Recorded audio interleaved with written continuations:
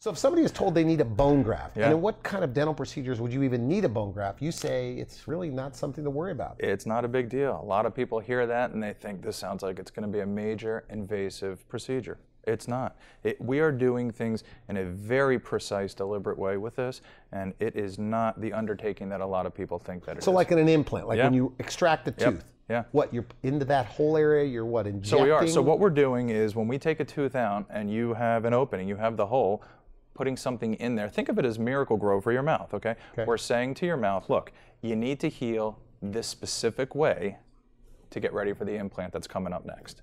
So bone graft is not something to No. worry about. Super routine. And what kind of bone are you using? Are you using synthetic bone? So there's or- different options, and there's different reasons why we would use one versus the other, but we're always matching up the most appropriate materials with that situation.